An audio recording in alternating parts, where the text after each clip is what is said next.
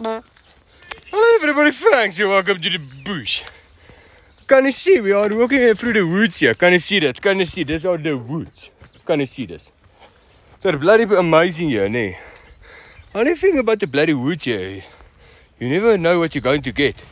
It's like forest Gump's, you know, and you open up a box of chocolates here. You never know what you're gonna get. So, life are like a box of chocolates. And the woods are like a box of mixed biltong, dry horse, cabanossi.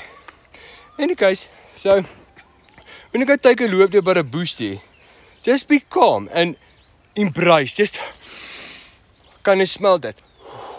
Okay, the, I think someone or pass a wind there. Any case, so just you must enjoy the bloody nature there, ne? It are very peaceful here, ne? Nothing that or to bother you here by the bushes here. Except for someone that walked by, by the talk can hear that. Any case, have a lekker day. Thanks.